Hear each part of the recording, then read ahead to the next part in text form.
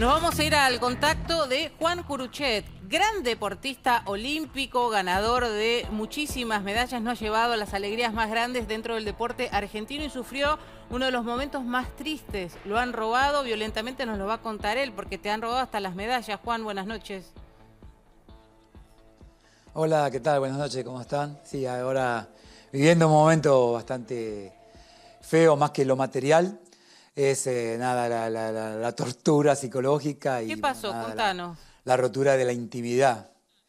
Y ocho y media de la noche, bueno, nosotros habíamos estado almorzando acá con, mis papás, que es un campo abierto cerca, de Batán.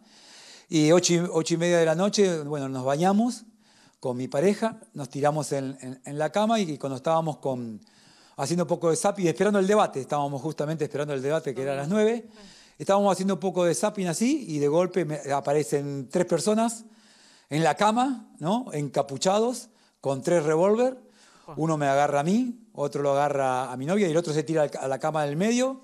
Nos sacan de, la cama, me tiran boca, boca, abajo a mí y a mi novia, nos pisan y nos, atan, nos atan con unos cordones, sacaron unos cordones en una zapatilla. Y bueno, y ahí empezó lo, lo, peor de todo, que fue cuando nos tiran en un rincón a los dos, nos sientan y empieza a darme la plata, el más grande, era uno de aproximadamente unos 50 años y dos jovencitos, uno de 18, 19 años y uno de 20, 20 y pico de años. El más alto era el más, el más joven, menos agresivo, y el del medio se notaba como que estaba hasta medio estimulado, medio drogado, ¿no? Que ese era también bastante picante, pero el más duro de todo era el hombre mayor de 50 años, que era el que me tenía a mí. Me levanta a mí, me pone un, arma acá en, la, en la cabeza, me dice, dame la plata, dame la plata, si no, te, pego y te paso para el otro lado. Me empezó a, agredir más psicológicamente que pegándome. Eh, en ese momento... ¿Y te llevaron a vos? Esperá, esperá, aguantá que yo tengo la plata acá. A, dar, a darle la plata, a darle sí, en, el mismo en el mismo ambiente. Ahí. ¿Le diste la plata, la Claro, en el, mismo, en el mismo ambiente yo tengo como un... Claro, tengo como un cambiador, ¿no? Donde yo me cambio ahí. Y ahí tengo en una parte de ese cambiador escondida la plata, mis ahorros, que eran todos mis ahorros. Toda tu vida. Entonces no lo encontraba. Sí, sí, lo que había ganado económico. Bueno, yo también dejé de correr en bicicleta, no soy futbolista, lo digo porque por ahí creen que uno le ha robado la fortuna y la, fortuna más grande mía está. No, yo no soy millonario y la fortuna más grande que tengo son mis medallas los pines de, oro que son importantes porque es lo que te identifica como campeón olímpico, eh, regalos previos, un reloj. ¿Económicamente tienen valor de reventa las medallas, Juan?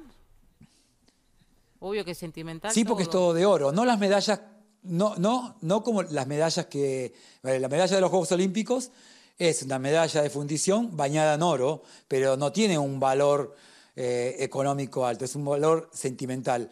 Y esa medalla, explicándole de que no era de oro, uno me dice, la voy a derretir, la voy a derretir y me la, voy a llevar. Y digo, no, no te la lleves porque no es de oro.